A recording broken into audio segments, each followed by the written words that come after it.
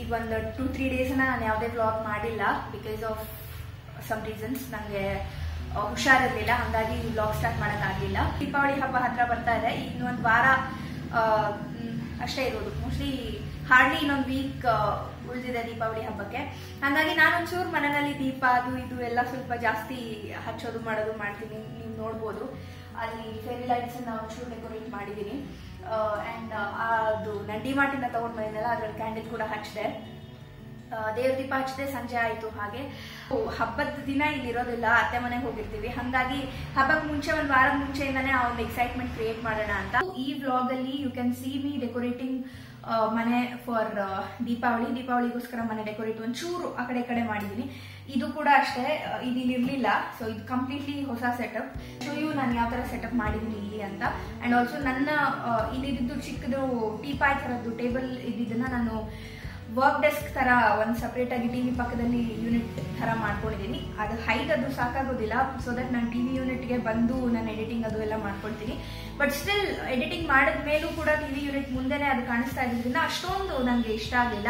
ನನ್ನ laptop laptop charger whatever we use for editing and all ಅದನ್ನ ಒಂದ್ ಕಡೆ ಇಟ್ಕೊಂಡು ಅದು ಪೂರ್ತಿ ಒಂದು ವರ್ಕ್ ಡೆಸ್ಕ್ ತರ ಮಾಡ್ಕೊಂಡಿದ್ದೀನಿ ಇನ್ನು ಸುಮಾರು ಚೇಂಜಸ್ ಮಾಡಬೇಕು. ಮೇನ್ಲಿ ಕಿಚನ್ ಅಲ್ಲಿ ತುಂಬಾ ಚೇಂಜಸ್ ಮಾಡಬೇಕು. ಅದು ಎಷ್ಟೇ ಆರ್ಗನೈಸ್ ಮಾಡಿದ್ರು open kitchen I mean cabinets ಏನು ಕ್ಲೋಸ್ ಇಲ್ಲ. ಎಲ್ಲ ಓಪನ್ ಇರೋದ್ರಿಂದ ಅಷ್ಟೊಂದು ಚೆನ್ನಾಗಿ ಕಾಣೋದಿಲ್ಲ. ಹಾಗಾಗಿ I thought I give a makeover for that also but ಅದು ದೀಪಾವಳಿ ಒಳಗೆ ಮಾಡ್ತೀನ ಇಲ್ವಾ ಅಂತ ಗೊತ್ತಿಲ್ಲ. ಬಟ್ ದೀಪಾವಳಿ ಒಳಗೆ ಒಂದಿಷ್ಟು ಮಾಡಬೇಕು ಅಂದ್ಕೊಂಡಿರೋದನ್ನ ಮಾತ್ರ ನಾನು ಕಂಪ್ಲೀಟ್ ಮಾಡೋಣ ಅಂತ ಅನ್ಕೊಳ್ತಾ ಇದ್ದೀನಿ. ಲೆಟ್ ಮೀ ಸಿ ನನಗೆ ಏನೇನು ಮಾಡೋಕ್ಕಾಗತ್ತೆ, ಏನೇನು ಮಾಡೋಕ್ಕಾಗಲ್ಲ ಅಂತ. ಆ್ಯಂಡ್ ಇವತ್ತಿನ ವ್ಲಾಗ್ ಇನ್ನೊಂದು ವಿಷಯಕ್ಕೆ ಇಂಟ್ರೆಸ್ಟಿಂಗ್ ಏನಾಗುತ್ತೆ ಅಂದರೆ I am going to share my jhumka collection ನನ್ನ ಹತ್ರ ಇರೋ ಜುಮ್ಕಿಗಳನ್ನ ನಾನು ನಿಮಗೆ ತೋರಿಸ್ತೀನಿ. ದಟ್ ಇಸ್ ಲೈಕ್ ಒಂದಿಷ್ಟು ಹ್ಯಾಂಡ್ ಮೇಡ್ ಇದೆ ಆ್ಯಂಡ್ ಒಂದಿಷ್ಟು ಹೊರಗಡೆಯಿಂದ ತೊಗೊಂಡು ಬಂದಿರೋದು ಕೂಡ ಇದೆ. ಈಗ ನನ್ನ ಜುಮ್ಕಾ ಕಲೆಕ್ಷನ್ ನೋಡೋಣ. ಅದಕ್ಕೆ ಮುಂಚೆ ನಾನು ಇಲ್ಲಿ ಏನ್ ಸೆಟಪ್ ಮಾಡಿದ್ದೀನಿ ಅಂತ ತೋರಿಸ್ತೀನಿ. ದೂರದಿಂದ ಈ ಯೂನಿಟ್ ಈ ತರ ಕಾಣಿಸ್ತಾ ಇದೆ. ಇಲ್ಲಿ ಇನ್ನೇನು ಇಟ್ಟಿಲ್ಲ. ಇದು ನಾನು ಡಿಮಾರ್ಟಿಂದ ತಗೊಂಡ್ ಬಂದಿದ್ದು. ಈ ಥರದ್ದು, ಇದು ಆಕ್ಚುಲಿ ಇದ್ರ ಮೇಲೆ ಕ್ಯಾಪ್ ಇದೆ ಅಂಡ್ ಒಂದು ಸ್ಟ್ರಾ ಇದೆ. ಜ್ಯೂಸ್ಗೆ ಯೂಸ್ ಮಾಡೋ ಥರದ್ದು ಬಟ್ ಅದ್ರ ಮುಂದೆ ಈ ತರ ಬುದ್ದಾಸ್ ಇದೆ. ಈ ಲೈಟ್ ಇಂದ ಬುದ್ದಾಸ್ ಅಷ್ಟು ಚೆನ್ನಾಗಿ ಕಾಣಿಸ್ತಾ ಇರಲಿಲ್ಲ. ಹಾಗಾಗಿ ನಾನು I thought I switch off the light and show you guys and ಇಲ್ಲಿ ಇದು ನಮ್ದು ವೈಫೈ ಇನ್ನೆಲ್ಲೂ ಇಡೋಕ್ಕೆ ಜಾಗ ಇರಲಿಲ್ಲ ಅಂಡ್ ಇನ್ನೆಲ್ಲೂ ವೈರ್ ಬರಕ್ ಜಾಗ ಇರಲಿಲ್ಲ. ಹಾಗಾಗಿ ಇದಕ್ಕೆ ಇಲ್ಲೇ ಜಾಗ ಇದೆ. I don't know what to do with this ಪಕ್ಕ ಇಲ್ಲಿ ಒಂದು ಚಿಕ್ಕದೊಂದು ಸೆಟಪ್ ಇದೆ. ನಂಗೆ ಈ ಥರದ ಫ್ಯಾನ್ಸಿ ಟಿನ್ ಬಾಕ್ಸ್ ತುಂಬಾ ಇಷ್ಟ. ಈ ಟಿನ್ ಬಾಕ್ಸ್ ಒಳಗಡೆಗೆ I have kept my candles so ಇದಕ್ಕೆ ದೀಪಕ್ಕೆ ಯೂಸ್ ಆಗುವಂತಹ ಕ್ಯಾಂಡಲ್ ಇಟ್ಟಿದ್ದೀನಿ. ಇದ್ರ ಮುಂದೆ ಇಲ್ಲಿ ನೀವು ನೋಡ್ತಾ ಇರೋ ಹಾಗೆ ನಾನು ಡಿಮಾರ್ಟಿಂದ ತೊಗೊಂಡು ಬಂದಿದ್ದು ಇಟ್ಟಿದ್ದೀನಿ. ಇದು ಪಕ್ಕದಲ್ಲಿ ಒಂದು ಮನಿ ಪ್ಲಾಂಟ್ ಇದೆ. ಗಣೇಶ ಚಿಕ್ಕದೊಂದು. ಇದು ನಾನು ಬೇಲೂರಿಂದ ತಗೊಂಡಿದ್ದು ಅನ್ಸುತ್ತೆ.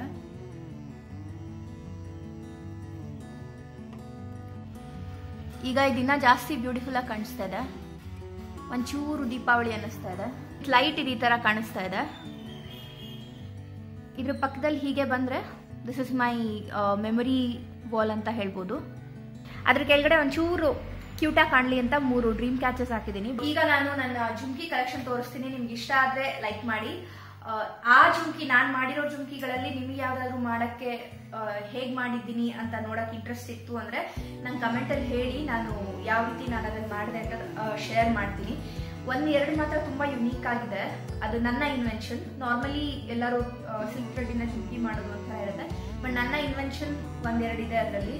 ನಂಗೆ ತುಂಬಾ ಇಷ್ಟ ಆಯ್ತು. ತುಂಬಾ ತುಂಬಾ ಟೈಮ್ ಹಿಡಿತು ಫಸ್ಟ್ ಫಸ್ಟ್ ಅದನ್ನ ಮಾಡುವಾಗ. ಅಂಥದ್ದು ಸುಮಾರು ಮಾಡಿ ಇವಾಗ ನಾನು ಆಗಲೇ ಕೊಟ್ಟಿದ್ದೀನಿ ಒಳ್ಳೊಳ್ಳೆ ಕಲರ್ ಕಾಂಬಿನೇಷನ್ ಅಲ್ಲಿ ಮಾಡಿ ಗಿಫ್ಟ್ ಮಾಡಿದ್ದೀನಿ ಆಮೇಲೆ ಸೆಲ್ ಮಾಡಿದ್ದೀನಿ ಇದು ಫಸ್ಟ್ ಇಯರಿಂಗ್ ನಾನು ತೋರಿಸ್ತಾ ಇರೋದು. ಇದು ಪೂರ್ತಿ ಮೂರು ಕಲರ್ ಥ್ರೆಡ್ನ ಬ್ರೇಡ್ ಮಾಡಿ ಅಂದರೆ ಜಡೆ ಹಾಕಿ ಆಮೇಲಿಂದ ಈ ಕೆಳಗಡೆ ಇರೋ ಇದಕ್ಕೆ ಪೇಸ್ಟ್ ಮಾಡಿದ್ದೀನಿ ಮೇಲ್ಗಡೆ ಸ್ಟಡ್ ಲೀವ್ ಥರ ಇದೆ. ಲೈಕ್ ನೆಕ್ಸ್ಟ್ ನಾನು ತೋರಿಸ್ತಾ ಇರೋದು ಎರಡು colour ಕಾಂಬಿನೇಷನಲ್ಲಿದೆ that is black and white these are the earring ಇದು ನಾರ್ಮಲ್ ನಾವು ಥ್ರೆಡ್ನ ಸುತ್ತೀವಲ್ಲ ಬೇಸ್ಗೆ. ಸೇಮ್ ಪ್ಯಾಟರ್ನಲ್ಲಿ ಡಬಲ್ ಕಲರಲ್ಲಿ ಮಾಡಿದ್ದೀನಿ. ಮೇಲ್ಗಡೆ ಕಮಲದ್ದು, ಕಮಲದ ಹೂವಿನ ಸ್ಟಡ್ ಕೊಟ್ಟಿದ್ದೀನಿ. ಇದಕ್ಕೆ ಕಲರ್ ಕೋಆರ್ಡಿನೇಷನ್ಗೋಸ್ಕರ ಇಲ್ಲಿ ಬ್ಲ್ಯಾಕ್ ಕಲರ್ ಕೊಟ್ಟಿದ್ದೀನಿ. ಬಿಕಾಸ್ ವೈಟ್ ಜಾಸ್ತಿ ಕಾಣೋ ಥರ ಮಾಡಿ ಬ್ಲ್ಯಾಕ್ ಕಮ್ಮಿ ಮಾಡಿದ್ದೀನಿ. ಅದು ಬ್ಯಾಲೆನ್ಸ್ ಆಗಲಿ ಅಂತ ಮೇಲ್ಗಡೆಗೆ ಬ್ಲ್ಯಾಕ್ ಕಲರ್ದು ವೆಲ್ವೆಟ್ ಬಾಲ್ ಕೊಟ್ಟಿದ್ದೀನಿ. ನೆಕ್ಸ್ಟ್ ಇಯರಿಂಗ್ ಇದು. ಇದು ತುಂಬ ರಿಚ್ ಆಗಿ ಕಾಣಿಸುತ್ತೆ. ಮೇಲೆ ಲಕ್ಷ್ಮೀದು ಸ್ಟಡ್ ಇದೆ. ಲಕ್ಷ್ಮೀ ಸ್ಟಡ್ ಕೊಟ್ಟಿದ್ದೀನಿ ಆ್ಯಂಡ್ ಇಲ್ಲಿ ಒಂದು ಸ್ಟೋನ್ ಬಾಲ್ ಕೊಟ್ಟಿದ್ದೀನಿ ಆ್ಯಂಡ್ ಪ್ಯೂರ್ ಬ್ಲ್ಯಾಕ್ ಕಲರಲ್ಲಿ ಮಾಡಿದ್ದೀನಿ. ಕೆಳಗಡೆಗೆ ಈ ಥರ ಸ್ಟೋನ್ಸ್ ಸಿಗುತ್ತೆ. ಅದನ್ನು ಅಟ್ಯಾಚ್ ಮಾಡಿ ಸ್ವಲ್ಪ ಗ್ರ್ಯಾಂಡ್ ಲುಕ್ ಮಾಡಿದ್ದೀನಿ. Next one is this red and copper ಕಲರಲ್ಲಿದೆ ಇದಕ್ಕೆ ನಾನು ಹ್ಯಾಂಡ್ಮೇಡ್ ಸ್ಟಡ್ಸ್ನೇ ಕೊಟ್ಟಿದ್ದೀನಿ. ಸ್ವಲ್ಪ ಚೆನ್ನಾಗಿ ಕಾಣಲಿ ಅಂತ. ರೌಂಡ್ ಬೇಸ್ ಅದು. ಇದು ಟ್ರ್ಯಾಂಗ್ ಸ್ಕ್ವೇರ್ ಬೇಸು ಎಲ್ಲ ಇದು ರೌಂಡ್ ಬೇಸು ಇದು ಸೇಮು ಇಷ್ಟು ದೊಡ್ಡದಿಲ್ಲ ಇದು, ಸ್ವಲ್ಪ ಚಿಕ್ಕದಿದೆ. ನೆಕ್ಸ್ಟ್ ಇಸ್ ದಿಸ್ ಒನ್ ಮೇಲ್ಗಡೆ ಸ್ಟಡ್ ಒಂದು ದೊಡ್ಡದು ಕೊಟ್ಟಿದ್ದೀನಿ. ಇದು ಹ್ಯಾಂಡ್ಮೇಡ್ ಸ್ಟಡ್ಡು ಹಿಂದೆ ಕ್ಯಾನ್ವಾಸ್ ಎಲ್ಲ ಸೆಕ್ಯೂರ್ ಮಾಡಿದ್ದೀನಿ ಕೆಳಗಡೆಗೆ ನಾರ್ಮಲ್ ನಾವು ಥ್ರೆಡ್ನ ಸುತ್ತಿ ಜುಂಕಿ ಮಾಡ್ತೀವಲ್ಲ, ಅದೇ ಥರ ಚಿಕ್ಕ ಸೈಜ್ ತೊಗೊಂಡಿದ್ದೀನಿ ಆ್ಯಂಡ್ ಇದಕ್ಕೆ ಮಧ್ಯದಲ್ಲಿ ಯಾವುದೇ ಸ್ಟೋನ್ ಆಗಲಿ ಅಥವಾ ಬೀಡ್ಸ್ ಆಗಲಿ ಬಾಲ್ಸ್ ಆಗಲಿ ಏನೂ ಕೊಟ್ಟಿಲ್ಲ. ಸಿಂಪಲ್ ಆಗಿರಲಿ ಅಂತ ಹೇಳಿ. ಆ್ಯಂಡ್ ಇದು ಮೇಲೆ ಇರೋ ಸ್ಟೋನ್ಸು ನಾಲ್ಕು ಸ್ಟೋನ್ಸ್ ಸೇರಿಸಿ ಮಾಡಿರೋದು ಮಿರರ್ ಫಿನಿಷಲ್ಲಿದೆ ಅದು ಗ್ರೀನ್ ಕಲರಲ್ಲಿದೆ ಲೈಟ್ ಗ್ರೀನ್ ಮೆಹಂದಿ ಗ್ರೀನ್ ಅಂತ ಹೇಳ್ಬೋದು. ಇಲ್ಲಿ ಟ್ವಿಸ್ಟ್ ಮಾಡಿ ತೊಗೊಂಡಿದ್ದೀನಿ ಥ್ರೆಡ್ನ ನಾಲ್ಕು ಪಾರ್ಟಾಗಿ ಡಿವೈಡ್ ಮಾಡಿಕೊಂಡು ಇನ್ನು ಮಧ್ಯದಲ್ಲಿ ಇರೋ ಟ್ರಯಾಂಗಲ್ ಶೇಪಲ್ಲಿ ನಾನು ಈ ಥರದ್ದು ಬೀಡ್ಸ್ನ ಆ್ಯಡ್ ಮಾಡಿದ್ದೀನಿ. ಇದು ತುಂಬ ಚೆನ್ನಾಗಿ ಕಾಣುತ್ತೆ. ಮಾಡೋಕ್ಕೆ ಸ್ವಲ್ಪ ಟೈಮ್ ಜಾಸ್ತಿ ತೊಗೊಳುತ್ತೆ ಬಟ್ ತುಂಬ ಚೆನ್ನಾಗಿದೆ. ಇದಕ್ಕೆ ಕಾಂಟ್ರಾಸ್ಟ್ ಆಗಲಿ ಅಂತ ಮೇಲ್ಗಡೆ ಏನೂ ನಾನು ಜಾಸ್ತಿ ಕೊಟ್ಟಿಲ್ಲ. ಇದೊಂದು ಗ್ರೀನ್ ಕಲರ್ ಬೀಡ್ ಬಿಟ್ಟು ಸೇಮ್ ಪ್ಯಾಟರ್ನಲ್ಲೇ ಇದು ಇನ್ನೊಂದು. ಅದರಲ್ಲಿ ಒಂದೇ ಕಲರಲ್ಲಿ ನಾನು ಟ್ವಿಸ್ಟ್ ಮಾಡಿ ತೊಗೊಂಡಿದ್ದೀನಿ as you can see but ಇಲ್ಲಿ ನಾನು ಎರಡು ಕಲರ್ ಯೂಸ್ ಮಾಡಿದ್ದೀನಿ. Copper and black copper and black so ಇಲ್ಲಿ ಮೇಲ್ಗಡೆಗೆ ಒಂದು ಡೈಮಂಡ್ ಶೇಪಿಂದು ಒಂದು ಚಿಕ್ಕದ ಸ್ಟೋನ್ ಕೊಟ್ಟು ಅದಾದಮೇಲಿಂದ ಪೇಸ್ಟ್ ಮಾಡಿ, ಅದಾದಮೇಲಿಂದ ಈ ಥರ ಬೀಡ್ಸ್ನ ನಾನು ಪೇಸ್ಟ್ ಮಾಡಿದ್ದೀನಿ. ಇದು ತುಂಬ ಚೆನ್ನಾಗಿ ಕಾಣುತ್ತೆ. ಆ್ಯಂಡ್ ಇನ್ನೊಂದು ನಾನು ಏನು ಮಾಡ್ತೀನಿ ಅಂದರೆ ಈ ಥರ ಬೇಸ್ನ ಕ್ರಿಯೇಟ್ ಮಾಡಿ ಇಟ್ಕೊಂಡಿರ್ತೀನಿ. ಇದು ನಾರ್ಮಲ್ ಸ್ಟೋನ್ ಮತ್ತು ಬಾಲ್ ಎರಡು ಚೈನಿಂದ ಮಾಡಿರೋದು. ಕೆಳಗಡೆಗೆ ಸ್ವಲ್ಪ ದೊಡ್ಡದೊಂದು ಗೋಲ್ಡ್ ಕಲರ್ ಬೀಡಲ್ಲಿ ಕೆಳಗಡೆ ಹ್ಯಾಂಗಿಂಗ್ ಮಾಡಿದೆ ಹ್ಯಾಂಗಿಂಗ್ ಕೊಟ್ಟಿದ್ದೀನಿ. ಇದು ತುಂಬ ಗ್ರ್ಯಾಂಡಾಗಿ ಕಾಣುತ್ತೆ. ನಾನು ಈ ಥರ ಬೇಸ್ನ ಕ್ರಿಯೇಟ್ ಮಾಡಿ ಇಟ್ಕೊಂಡಿರ್ತೀನಿ ಮನೆಯಲ್ಲಿ. ಇದು ನಾವು ಯಾವುದೇ ಅಕೇಶನ್ ಗ್ರ್ಯಾಂಡ್ ಅಕೇಶನಿಗೆ ಬೇಕು ಅಂದರೆ ಐ ಕ್ಯಾನ್ ಡಿಟ್ಯಾಚ್ ಇದ್ರದ್ದು ಸ್ಟಡ್ ಅಥವಾ ಸ್ಟಡ್ ಸಪ್ರೇಟಾಗೂ ಇದೆ. ಸೊ ಅದನ್ನು ನಾನು ಇಲ್ಲಿ ಮೇಲೆ ಅಟ್ಯಾಚ್ ಮಾಡ್ತೀನಿ. ಆ ಟೈಮಲ್ಲಿ ಯಾವುದು ಚೆನ್ನಾಗಿ ಅನಿಸುತ್ತೋ ಅದನ್ನು ಅಟ್ಯಾಚ್ ಮಾಡಿ. ಇದನ್ನು ವೇರ್ ಮಾಡ್ತೀನಿ. ಸೊ ಈ ಥರದ್ದು ಸುಮಾರು ಮಾಡಿಟ್ಕೊಂಡಿದ್ದೀನಿ ಇದು ಹೂಪು, ಹೂಪ್ ಇಯರಿಂಗ್ ಅಂತ ಹೇಳ್ಬೋದು. ಇಲ್ಲಿ ಮೇಲೆ ಇದು ಟಾಪ್ ಆ್ಯಕ್ಚುಲಿ ತೆಗೆದುಬಿಟ್ಟು, ಮೇಲೆ ಟಾಪ್ ತೆಗೆದುಬಿಟ್ಟು, ನೀವು ಇದಕ್ಕೂ ಕೂಡ ಈ ಜುಂಕಿನ ಪೇರ್ ಮಾಡ್ಕೊಂಡು ಹಾಕೋಬೋದು ಅಲ್ಲಿ ಶೋ ಯು ಹೌ ಇಟ್ ಈ ಥರ. ಹಾಗಾಗಿ ನಾನು ಮಲ್ಟಿಪರ್ಪಸ್ ಆಗುತ್ತೆ ಅಂತ ಇದು ಮಾಡಿಟ್ಟಿದ್ದೀನಿ ಇದನ್ನು ಸಪ್ರೇಟಾಗಿ ವೇರ್ ಮಾಡ್ಬೋದು. ಸೊ ಟೂ ಇನ್ ಒನ್ ಆಗುತ್ತೆ. ಇಲ್ಲಿಗೆ ನಾನು ಮಾಡಿರುವಂತಹ ಇಯರಿಂಗ್ ನನ್ನ ಹತ್ರ ಸದ್ಯಕ್ಕಿರೋದು collection ಇಷ್ಟಿದೆ.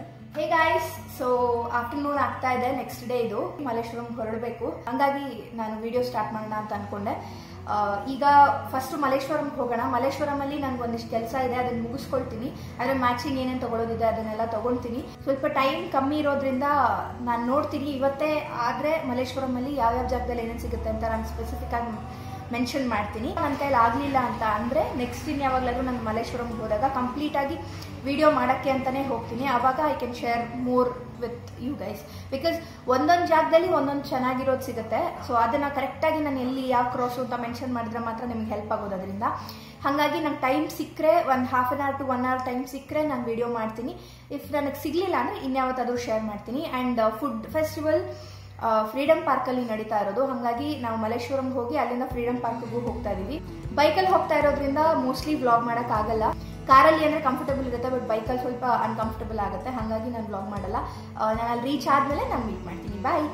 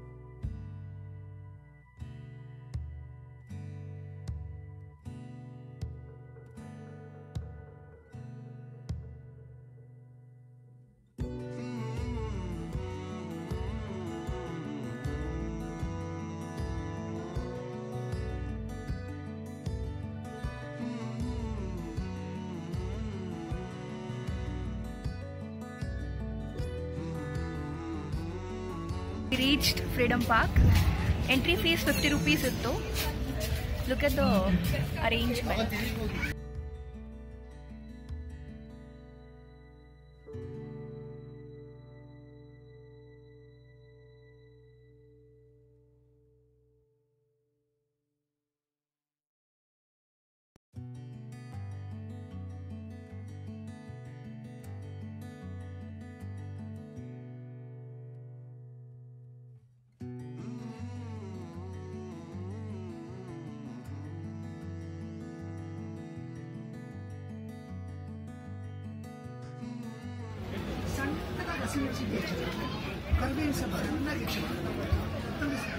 Rangila rasam Rangila rasam ಬಿಸಿ ಬಿಸಿ ರಸಂ ಟೇಸ್ಟ್ ಮಾಡಿ ಪ್ಯಾಕೆಟ್ ತಗೊಳ್ಳಿ ರಂಗಿಲ ರಸಂ ಬಿಸಿ ಬಿಸಿ ರಸಂ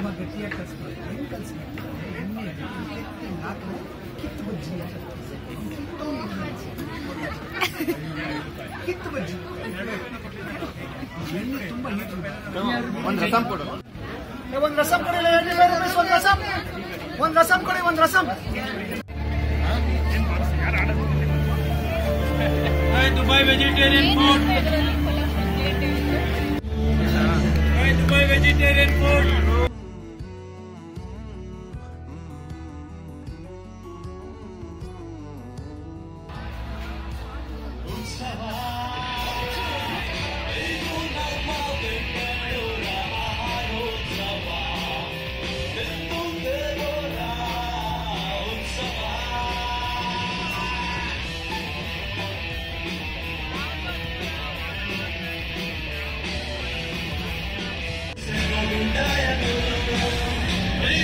hey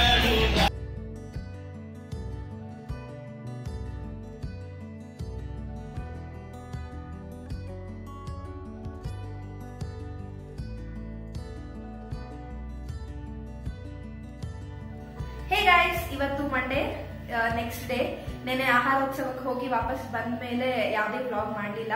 ವಾಪಸ್ ಬರ್ತಾನು ತುಂಬಾ ಲೇಟ್ ಆಗಿತ್ತು ಅಂಡ್ ಆಲ್ಸೋ ಆಹಾರೋತ್ಸವದಲ್ಲಿ ಜಾಸ್ತಿ ಎಂಜಾಯ್ ಮಾಡಕ್ ಆಗ್ಲಿಲ್ಲ ಬಿಕಾಸ್ ಆಫ್ ರೈನ್ ಮಳೆ ಬಂದ್ಬಿಡ್ತು. ನಾವು ಹೋಗಿ ಒಂದು half an hour forty five minutes ಒಳಗಡೆ ರೈನ್ ಸ್ಟಾರ್ಟ್ ಆಗೋಯ್ತು. ಹಾಗಾಗಿ ಸುಮಾರು ಹೊತ್ತು ನಾವು ಅಲ್ಲಿ ಒಂದೇ ಜಾಗದಲ್ಲಿ ನಿಂತಿದ್ವಿ. ಹಾಗಾಗಿ ಜಾಸ್ತಿ ಏನು ಎಕ್ಸ್ಪ್ಲೋರ್ ಮಾಡಕ್, ಅಂದ್ರೆ ಎಕ್ಸ್ಪ್ಲೋರ್ ಮಾಡುವಂಥದ್ದು ಅಷ್ಟೊಂದು ಏನು ಇರ್ಲೂ ಇಲ್ಲ. ವೆರೈಟೀಸ್ ಏನು ಇರಲಿಲ್ಲ ಜಾಸ್ತಿ. ಆಹಾರೋತ್ಸವ ಅಂತ ಫುಡ್ ಫೆಸ್ಟಿವಲ್ ಮಾಡ್ತಾ ಇದ್ದಾರೆ ಅನ್ನೋ ಲೆವೆಲ್ ಅಲ್ಲಿ ಇರ್ಲಿಲ್ಲ. ಯಾವುದೇ ಫುಡ್ ಫುಡ್ ವೆರೈಟೀಸ್ ಕೂಡ ಇರಲಿಲ್ಲ ಅಂಡ್ ಆಲ್ಸೋ ಟೇಸ್ಟ್ ಕೂಡ ಅಷ್ಟೊಂದು ನಮ್ಗೆ ಯಾವ್ದು ಇಷ್ಟ ಆಗಲಿಲ್ಲ.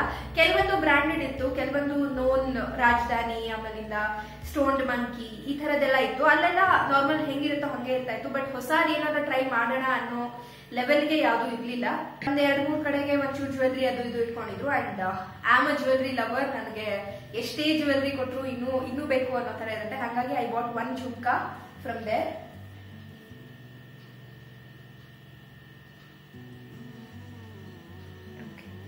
ಈಗ ನಂದು ದೀಪಾವಳಿದು ಪ್ಯಾಂಪರಿಂಗ್ ಶುರು ಆಗುತ್ತೆ ಫಸ್ಟ್ ಮೆಹಂದಿ ಅಪ್ಲೈ ಮಾಡ್ತೀನಿ. ಅಪ್ಲೈ ಮಾಡಕ್ ಮುಂಚೆ ಮೆಹಂದಿ ರಾತ್ರಿನೇ ಕಲ್ಸಿಡ್ಬೇಕು. ಹಾಗಾಗಿ ನಾನು ಯಾವ ರೀತಿ ಮೆಹಂದಿ ಕಲಿಸ್ತೀನಿ ಅಂತ ಹೇಳಿ ಕೂಡ ನಿಮ್ ಹತ್ರ ಶೇರ್ ಮಾಡ್ದಂಗ ಆಗುತ್ತೆ ಅಂತ ಹೇಳಿ. ಮೆಹಂದಿ ಸ್ವಲ್ಪ ಕಮ್ಮಿ ಇದೆ. ನನ್ನ ಹೇರ್ ಮೆಂತಗಾಗಲ್ಲ. ಬಟ್ ಮುಂದೆ ನನ್ಗೆ ಎಲ್ಲಿ ಗ್ರೇ ಹೇರ್ ಇದೆಯೋ ಅದು ಮಾತ್ರ ನಾನು ಅಪ್ಲೈ ಮಾಡ್ತೀನಿ. ನಾನು ಮೆಹಂದಿ ಎರಡು ತರ ಕಲಿಸ್ತೀನಿ. ಒಂದು ಕಾಫಿ ಡಿಕಾಕ್ಷನ್ ಅಥವಾ ಟೀ ಡಿಕಾಕ್ಷನ್ ಎರಡರಲ್ಲೂ ಕಲಿಸ್ತೀನಿ. ನಾನು ಇವತ್ತು ಕಾಫಿ ಡಿಕಾಕ್ಷನ್ ಯೂಸ್ ಮಾಡ್ತಾ ಇದ್ದೀನಿ. ಇಷ್ಟು ಮೆಹಂದಿಗೆ ನಾನು ಒಂದು ಎರಡರಿಂದ ಮೂರು ಚಮಚದಷ್ಟು ಮಾತ್ರ ಹಾಕೋತೀನಿ. ಅಂಡ್ ನಾನು ಯಾವಾಗಲೇ ಮೆಹಂದಿ ಕಲಿಸುವಾಗ್ಲೂ ಮೊಸರಿನ ಅಮೌಂಟ್ ಜಾಸ್ತಿ ಇಡ್ತೀನಿ. ಈಗ ಮೊಸರು ಹಾಕೋತಾ ಇದ್ದೀನಿ. ಈ ತರದೊಂದು ವಿಸ್ಕ್ನ ಯೂಸ್ ಮಾಡ್ತೀನಿ. ಇದು ಸ್ವಲ್ಪ ಚಿಕ್ಕ ಸೈಜ್ ಇದೆ. ನಾನು ಮೆಹಂದಿ ಕಲ್ಸಕ್ಕೆ ಅಂತಾನೆ ಇದನ್ನ ಸಪರೇಟ್ ಆಗಿ ತಗೊಂಡ್ ಬಂದಿದ್ದೀನಿ. ಇಲ್ಲಿ ಕಿಚನ್ ಅಲ್ಲಿ ಇನ್ನೆಲ್ಲೂ ಹೋಗಲ್ಲ ಇದು. ಅಂಡ್ ನಾನು ಇದಕ್ಕೆ ಇನ್ಯಾವುದೇ ಎಕ್ಸ್ಟ್ರಾ ನೀರ್ ಮಿಕ್ಸ್ ಮಾಡಲ್ಲ. ಮೊಸರಲ್ಲೇ ಕಲಿಸ್ತೀನಿ ಕಂಪ್ಲೀಟ್ ಯಾಕೆ ಅಂತಾನು ಹೇಳ್ತೀನಿ.